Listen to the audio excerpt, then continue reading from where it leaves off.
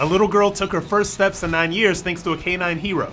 Hey guys, it's Rob Smith with Buzz60, and this Great Dane definitely lives up to his name. 11 year old Bella Burton was born with Morquio syndrome, a genetic condition that limits her bone growth and mobility and can lead to organ damage and dwarfism. Even though she's been through 10 surgeries and a ton of physical therapy, she still struggled to walk without crutches or a wheelchair. Then she met George. He's a Great Dane provided by the Service Dog Project, who have trained and provided more than 100 dogs to people like Bella with mobility issues. She says she leans on him like a crutch. He helps me walk. If I fall, I tell him brace, which means he will stand and won't even budge and I can pull myself up. Bella was finally able to drop her crutches once she linked up with George.